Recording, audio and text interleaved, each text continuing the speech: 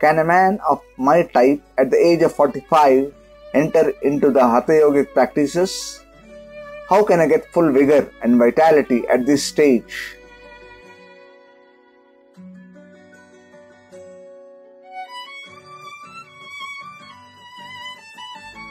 Yes, you must have sincerity, earnestness, faith, vigor, and vitality.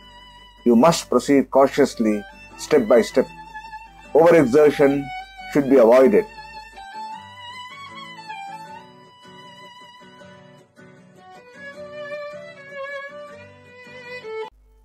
The yogic practices will give you success if you deserve mauna, mitahara, and practice of japa and meditation.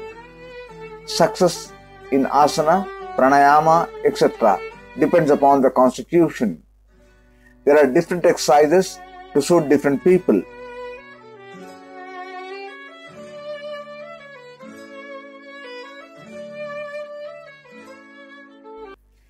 If you want vigor and vitality, become a true brahmachari from this very moment. Be established in mental and physical brahmacharya.